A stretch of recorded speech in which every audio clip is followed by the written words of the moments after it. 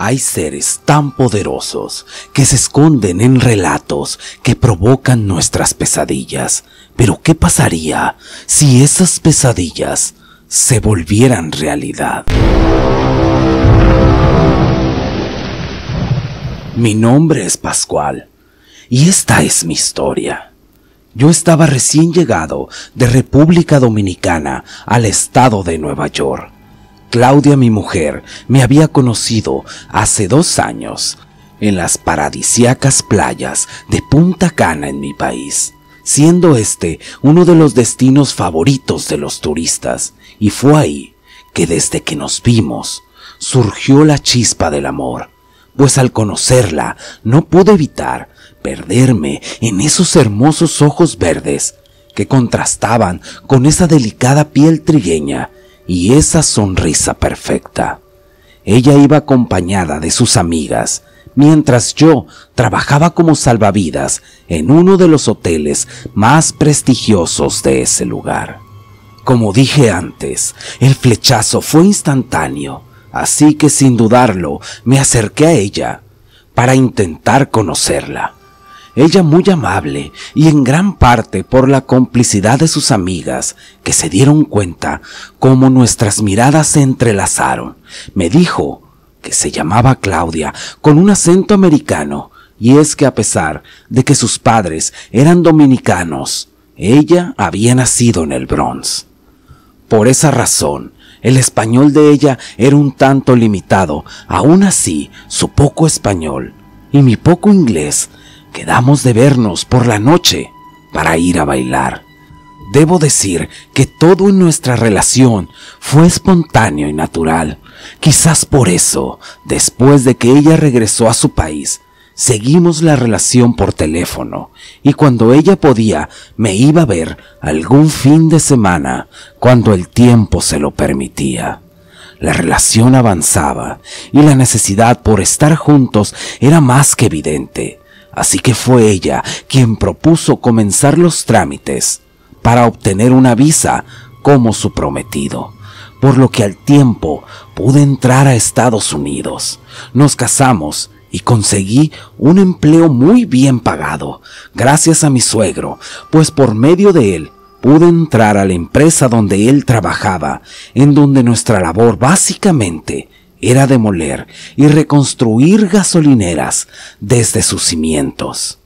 Como dije antes, se ganaba muy bien ahí, principalmente porque era un trabajo muy pesado, pero gracias a que siempre había sido amante del ejercicio, mi condición física me ayudaba, por lo que era frecuente los bonos que recibía por mi desempeño. Además, que uno permanecía fuera de casa por meses, viajaba por toda la Unión Americana, pero donde más nos concentrábamos era en la zona norte, por toda la zona de los grandes lagos, inclusive hasta Alaska. Pronto, debido a que mis ingresos eran muy buenos, mi esposa y yo compramos una casa en un buen vecindario en el estado de Connecticut aunque debo confesar que el haber crecido en una isla del Caribe, el adaptarme a las bajas temperaturas y nevadas durante el invierno, no fue tarea sencilla. En ese punto, todo parecía felicidad, y todo aumentó cuando mi esposa me dio la noticia que estábamos esperando un bebé. Durante esos meses nos fue encomendada la renovación de una red de abasto de gasolina cerca de una reserva ojigua, cerca de la frontera canadiense. Recuerdo que al saber que nos distanciaríamos por algunos meses, Claudia me sorprendió diciendo que había hecho reservación para pasar algunos días en las cataratas del Niágara, para que de ahí mismo partiera, y así lo hicimos. Ese tiempo juntos fue maravilloso, pues aparte de disfrutar de hermosos paisajes, nuestra relación se fortalecía por la ilusión de nuestro bebé. Pero por fin llegó el tiempo de despedirme de Claudia, aunque esa ocasión fue más difícil que las veces anteriores.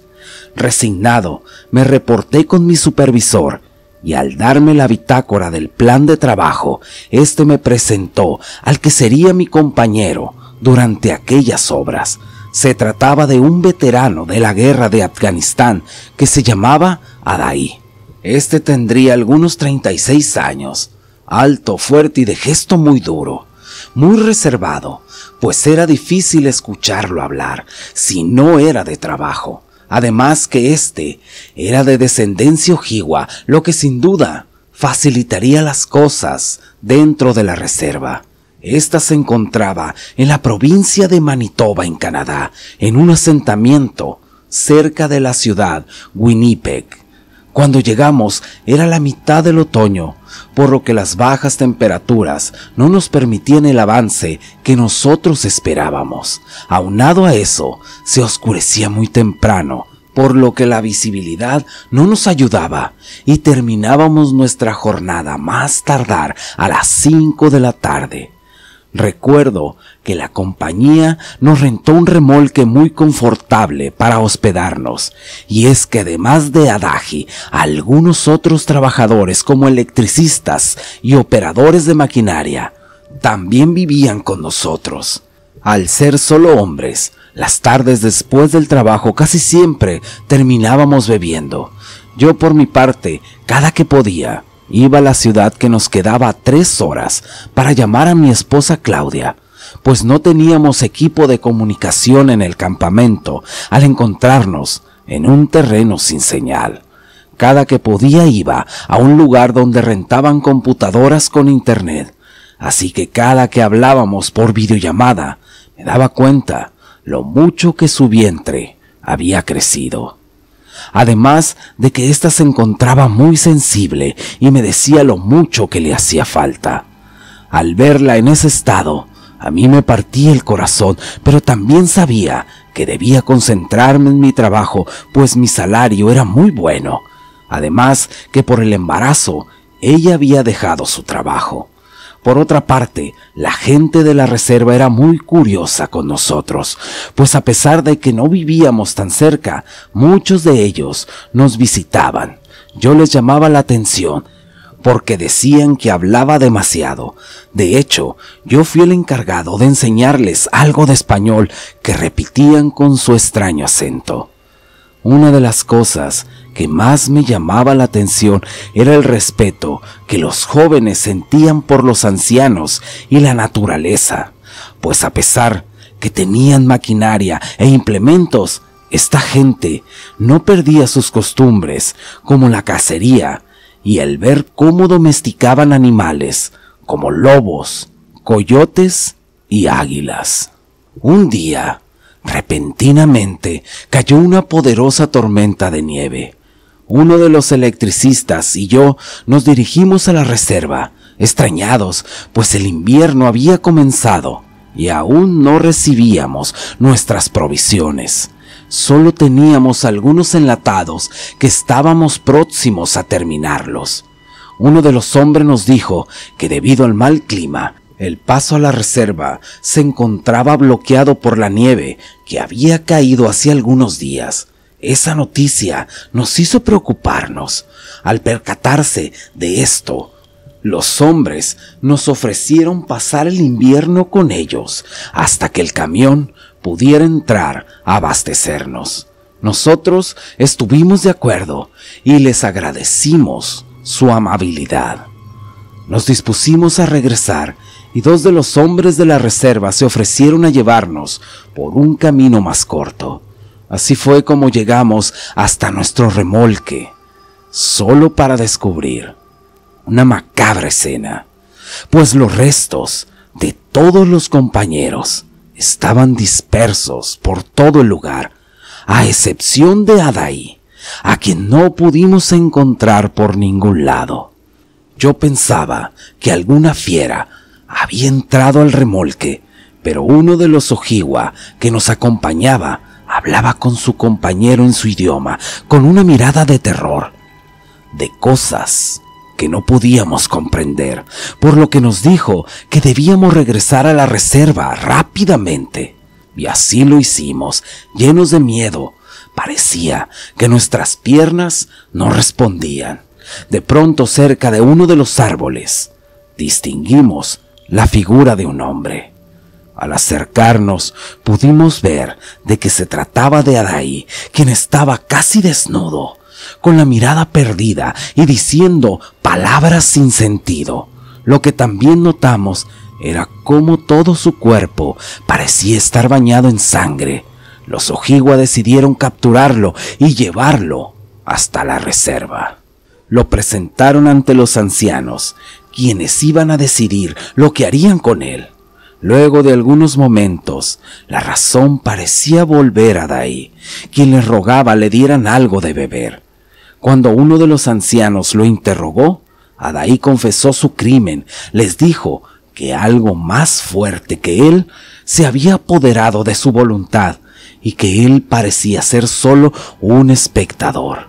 Luego les dijo que un apetito voraz por la carne humana lo había llevado a cometer canibalismo. En eso, recuerdo que Chada, uno de los hombres, le decía a los demás que podría tratarse de un Wendigo, y sus últimas palabras fueron que la mejor manera de matarlo era hacerlo antes de que éste se transformara por completo. Al escuchar esa palabra, todos quedaron petrificados, hasta que uno de los ancianos, llamado Ishawika, que parecía ser el líder, tomó la palabra mientras todos lo rodearon e hicieron silencio. Este les dijo que todos estábamos en peligro, pues el espíritu inmundo del Wendigo había entrado en aquel hombre. Después comenzó a narrar una historia que se contaba entre el pueblo, generación tras generación.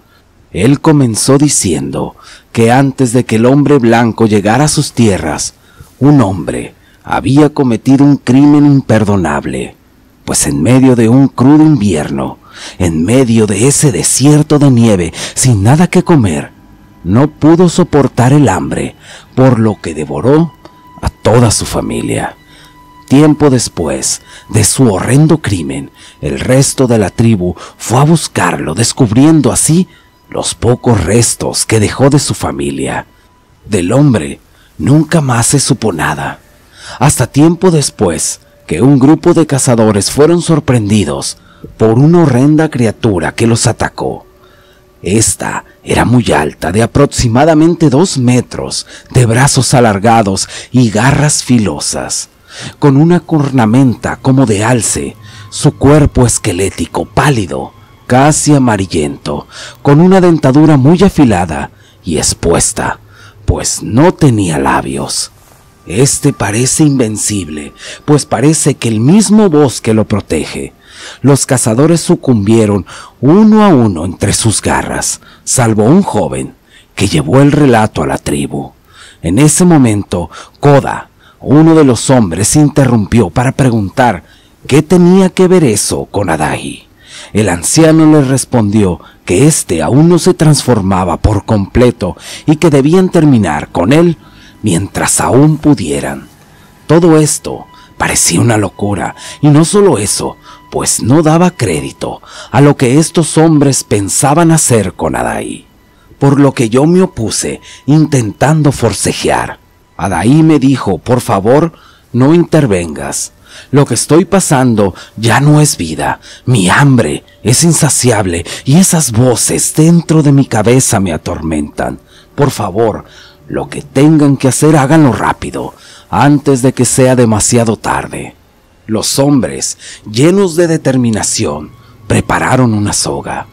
Yo seguía tratando de evitar su ejecución sin poder entender lo que pasaba. Mientras tanto, Chada conducía de ahí hasta su inevitable final. Y así fue. Solo escuché el crujir del cuello de Adaí. Luego de eso, los ancianos realizaron un ritual en el que lo decapitaron para cremarlo y enterrar la cabeza, pues decían que el espíritu inmundo del Wendigo lo podría traer a la vida. Todo eso había causado un gran alboroto dentro de la comunidad, quienes sabían la amenaza tan grande que significaba esa criatura. Poco a poco, todos se fueron retirando a sus hogares, hasta que Lonan, otro de los hombres, nos guió hasta su casa para que intentáramos descansar. Yo estaba en shock y no podía dejar de pensar en mis compañeros que habían fallecido, pero sobre todo en mi amada Claudia, quien seguramente estaría preocupada, pues hacía días que no me comunicaba con ella. Intenté dormir un poco, solo para despertar, en medio de gritos y un alboroto, pues a lo lejos se podía oír el eco de un potente rugido que sembró el terror en toda la comunidad. Esa noche nadie pudo volver a dormir. Nadie pegaba los ojos. Todo era tensión y horror. A la mañana siguiente, los hombres y los ancianos se reunieron para buscar una posible solución. Yo no veía la hora de largarme y ya para el mediodía mis esperanzas crecieron al ver un vehículo que se acercaba a la reserva. Mi sorpresa fue grande cuando al llegar pude ver a mi amada Claudia, que me abrazó, y ésta venía acompañada de su padre. Venía con uno de los supervisores de la compañía. Yo le dije, ¿qué estás haciendo aquí? Claudia sonriendo me dijo, no te da gusto que te haya venido a visitar. Rápidamente la llevé a la casa donde me hospedaba e intenté poner al tanto a mi suegro y al supervisor para que nos largáramos de ese lugar inmediatamente. Ellos, desde el principio, no me creyeron y decían que debían ir hasta el remolque donde vivíamos para hacer un informe. Para ese momento todo se encontraba en oscuridad, pues al ser invierno los días eran muy cortos.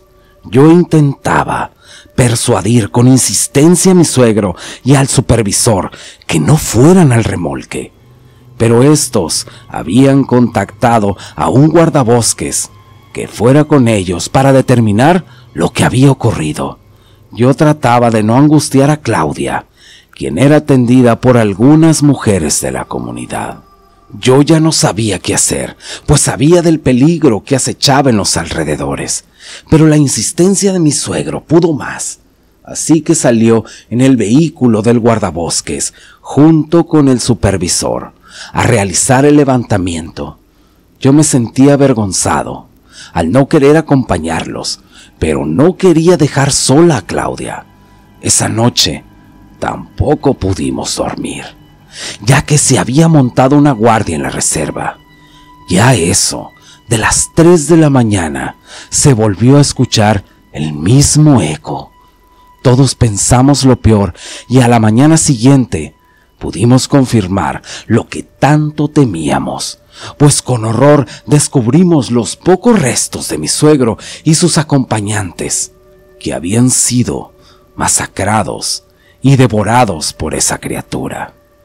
La escena era macabra, pues se veía la sangre congelada causado por las bajas temperaturas, con restos, huesos y cabellos esparcidos por todo el lugar. Mi esposa, al enterarse, entró en labor de parto a causa de la fuerte impresión.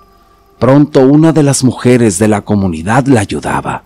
Para ese punto ya no pensaba con claridad, deseaba que todo se tratara de una horrible pesadilla. Pero una voz interrumpió mis pensamientos, y esa era la partera que me invitó a entrar a la habitación donde me esperaba Claudia.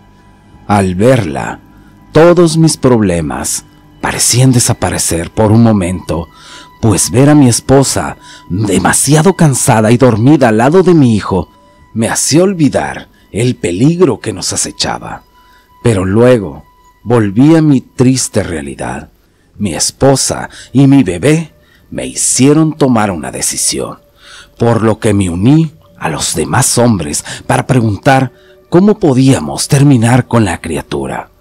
Uno de los más ancianos decía que la única manera de terminar con él era atravesando su gélido corazón, pero que era prácticamente imposible, pues el bosque lo protegía, además que las armas convencionales no le causaban daño, pero que había una posibilidad, y esta era que debía cerrar el perímetro en el bosque, donde uno de los ancianos, que era un chamán y el líder de Ishawika, colocarían algunos tótems que lo debilitarían y que esto nos ayudaría, pues nos daría una oportunidad para terminarlo, pero que de no dar resultado, habría sellado el destino de toda la comunidad. Al día siguiente, el chamán y el líder de los ancianos, acompañado por un grupo de los mejores cazadores, se internó en el bosque. Lo extraño es que todo estaba en absoluto silencio y no pudieron ver los insectos, ni las aves o algún otro animal. No había nada. Parecía que se habían retirado a otro lugar. Mientras tanto, el chamán vestido con piel de lobo e Isnahuitka, vestido con la piel de un oso, tomaron algunos tótems de madera y los colocaron en el bosque mientras danzaban y cantaban en su dialecto. Al caer la noche, un grupo de hombres y yo montamos guardia alrededor de la reserva, cuando el silencio dio paso a un horrible bramido que se oía cada vez más cerca los hombres se abalanzaron sobre la criatura, que era imponente, con esa cornamenta de alce y esos brazos, de los cuales salían esas potentes garras.